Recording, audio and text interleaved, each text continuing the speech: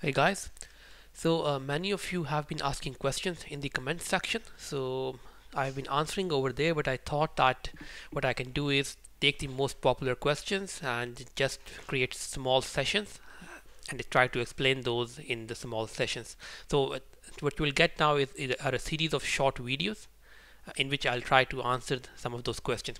So one of the most common questions I'm getting in the massive MIMO video is to talk about the SSB beams and beam sweeping. Now what is uh, SSB beam and how beam sweeping works? Let's have a quick look at that. Now um, it is open to vendor implementation but there can be multiple SSBs. Now what is the SSB? SSB is the synchronization signal block. It is the one that carries the PSS, the SSS and the PBCH. So it is the signal that is used uh, for the UE to synchronize to the system and also it is the channel which is being used to get the RSRP. So um, if you get the RSRP from the SSB, especially you actually look into the SSS part of the SSB to get the RSRP and uh, once you get the RSRP from there then you try to attach to the cell. If let's say the RSRP is good enough. And also during mobility you need to move from one cell to another cell like an A3 event. Then the RSRP of the neighbor cell and the serving cell it also comes from the SSB especially the SSS part. So that is the what, what the SSB uh, does. But now let's talk about how the SSB beam sweeping works. So let's take this example here. Here we have uh, a typical frame.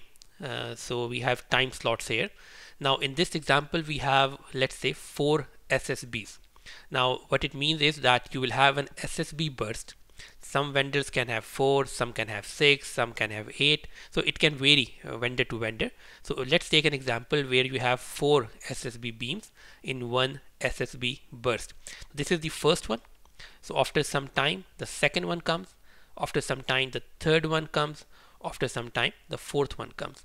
Now each of this SSB uh, is part of a single burst and usually the difference between them is just a few symbols. So we're talking about microsecond level uh, difference.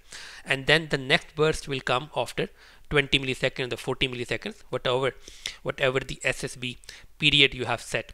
So let's take an example here now. Let's see we have the first SSB so what the GNodeB will do is that it will send this SSB over a beam. Like this one goes on this beam. Then after some time the second SSB comes. So the second SSB will be sent on this beam. Then the third SSB comes and it will be sent on this beam.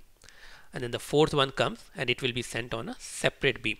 So if you see here we can see that each SSB is moving in the uh, in this direction from let's say let's say from uh, left to right or in clockwise direction.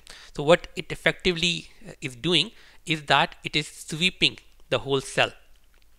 So this is why that we call it beam sweeping because we are sweeping the whole cell. Now why it is important? Let's say we have a UE over here. Now when the first beam comes, it will measure that beam and will get the RSRP value. But because this beam is not directed to this UE, so, the RSRP might be a lower value. For instance, this beam gives it RSRP of minus 100 dBm. Then the second beam comes and it measures the second beam as well because it is at the center of the second beam. So the RSRP should be higher. Maybe it's minus 90 dBm. Then the third beam comes again. It's not in the center, so maybe the RSRP will be minus 100 dBm. The fourth beam comes, it's further away. Maybe the RSRP is minus 105 dBm. So the UE will find out that SSB number 2 or SSB beam number 2 is the best fit, is the best candidate for this UE. So it will let the GNodeB know that this beam is the most optimum candidate for me. So the GNodeB will now know where the UE is located as well, right? Because now GNodeB knows that my beam 2 is going in this direction and the UE is saying that beam 2 is the best candidate.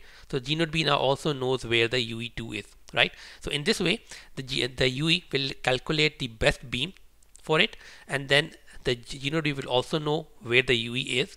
And then based on that GNodeB can it can help GNodeB in uh, moving towards the traffic beams and giving it the most optimized beam to continue. Because uh, once you attach to the cell until you have sent out the PMI and the CQI reports the CSI reports the the uh, GNodeB will not know where you are right? So as explained in the Massive MIMO video the PMIs tell the GNodeB where the UE is right? But before that before the UE has shared its PMI the GNodeB can use the SSB beam information to direct all the uh, traffic and all the other channels to, for this UE using that beam. so this is uh, the important of the SSB beams.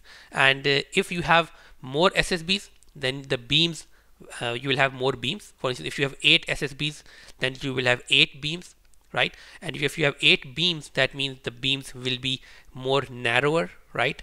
Because you are sweeping the same amount of cell right? If you have more beams they will be more narrower. They might give you a better SSB quality and SSB SINR for instance. So this is uh, what the beam sweeping is and uh, how it works out. And uh, in the next video we'll talk about the differences between the SSB beams and the beams that come from the PMIs for instance and then the beams that come from the SRS so what are the differences between these three type of beams? Okay um, stay tuned. It will come up shortly. Thank you so much